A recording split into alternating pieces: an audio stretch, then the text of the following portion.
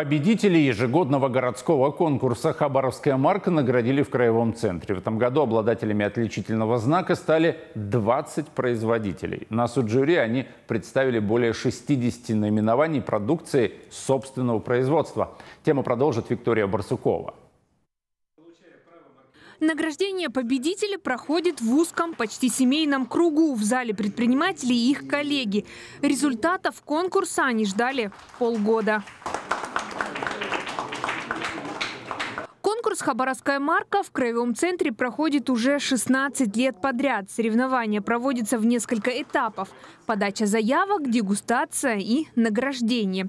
В состав жюри входят предприниматели, победители прошлых лет, представители администрации и Роспотребнадзора. Продукцию оценивают сразу по многим позициям. Елена Степика на суд жюри представила 8 наименований сушеных овощей и фруктов. В итоге победу отдали томатам с местных ферм. Томаты, как все знают, вот они водянистые.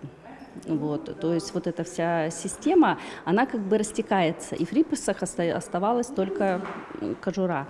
Но мы нашли такой сорт, который сохраняется полностью, плюс добавляются специи, и получается вот очень вкусный, полезный перекус. Победители конкурса получили дипломы, почетные знаки и право пользоваться маркировкой на упаковке. Хабаровская марка – это своеобразный знак качества, с которым уже хорошо знакомы жители краевой столицы. Выпуская качественную продукцию, в том числе и в рамках импортозамещения, вы обеспечиваете продовольственную безопасность нашего города и нашей страны в целом.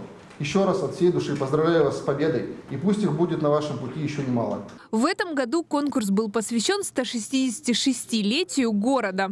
Все участники получили награды. Всего предприниматели представили более 60 наименований продукции собственного производства. 37 из которых – новинки. Виктория Барсукова, Павел Легалин, телеканал «Губерния».